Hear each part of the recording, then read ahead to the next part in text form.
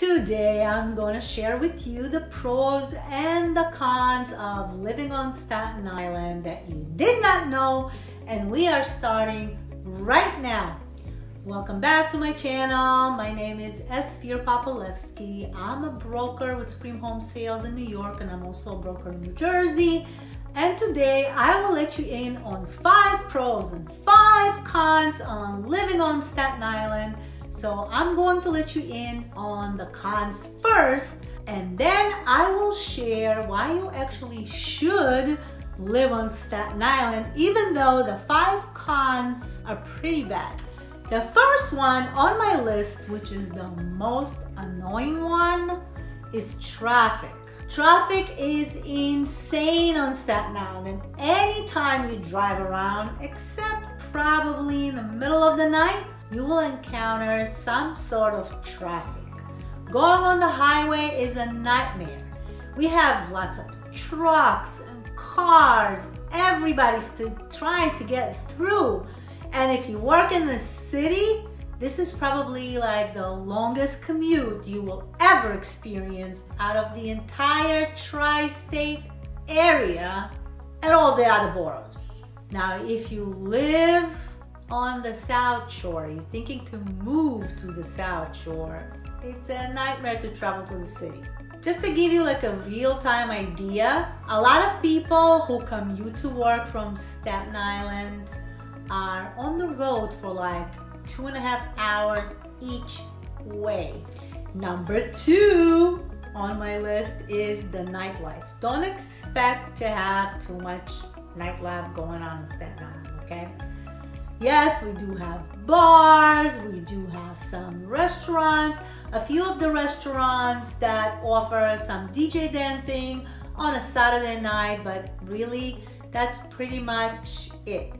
So if you are a night owl and you love to party, Staten Island's probably not the best place for you to live in, with the exception that you live very close to the Verrazano Bridge or the Staten Island Ferry, which allows you the opportunity to quickly get to the city and come back. Number three on my list, which is kind of annoying too a little bit, it's the variety of the food that we have on Staten Island, especially takeout. Staten Island has a majority of Italian food, duh, or pizzerias really. So your choices are very limited when you want to order takeout to be delivered to your house. I go through this all the time. You have the option of pizzeria food, Chinese food, Japanese food, which kind of limits you to what you can get.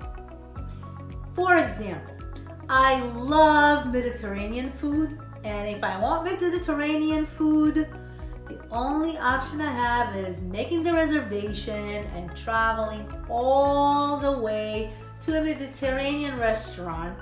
But the problem is all of these Mediterranean restaurants are located near the Verrazano Bridge. They don't deliver to the South Shore at all. Bummer. Don't get me wrong, like I love Italian food and Chinese food and Japanese food. But, but I do crave Mediterranean many times, which I can't really get. Number four on my list is the wildlife and lots of deer we have here. So when you drive around, you have to be really careful. You never know if a deer or a turkey or a big bird or a raccoon or a possum or a stray cat even going to jump at you and I know you don't want to kill anyone. So be very, very careful when you're driving on Staten Island, especially when it's dark out. And number five on my list is you really need to have a car living on Staten Island. Most places you cannot walk to, you have to drive everywhere.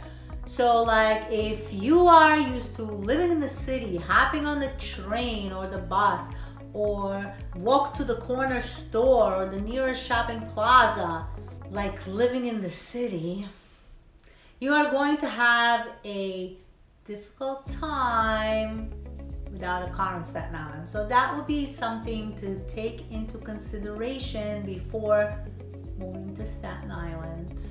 And now let's get to the good stuff. The five pros that you absolutely will love living on Staten Island because there's no other place like Staten Island. Number one is parks. Did you know that Staten Island has 170 parks? Which is like a third of Staten Island. Staten Island is the greenest borough out of them all. We have a total, get this, 12,300 acres of protected parkland, and Staten Island is only like 21 miles long. Pretty much every neighborhood or near every neighborhood, you would find a park. So that's absolutely, absolutely awesome. Number two, real estate is a lot more affordable in Staten Island compared to like all the other boroughs. Our houses are not cheap, but in comparison to other boroughs, our homes are a lot more affordable. A lot more affordable. And they offer more space, more land, more yard than you will find in other boroughs, for example.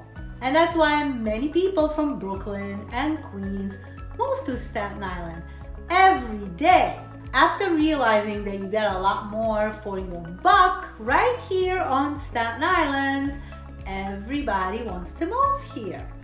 Number three on my list is parking. Let me tell you something. Parking is a breeze on Staten Island, and if you own a car, you will absolutely love this. Majority of the neighborhoods on Staten Island do not have alternate side parking at all. Can you believe this? And do not have meter parking either. You can park your car pretty much anywhere and everywhere without worrying about alternate side parking or feeding the meters. We do have meter parking in really condensed commercial areas, but overall we do not. The next one on my list is golf courses. Did you know that Staten Island has four golf courses and three of which are municipal golf courses? I mean, how much can you fit in in 21 miles? And last but not least, think your kids would love living on Staten Island because children have opportunities to be outside a little bit more. Most communities are built tucked away from the street or like a main road and offer speed bumps.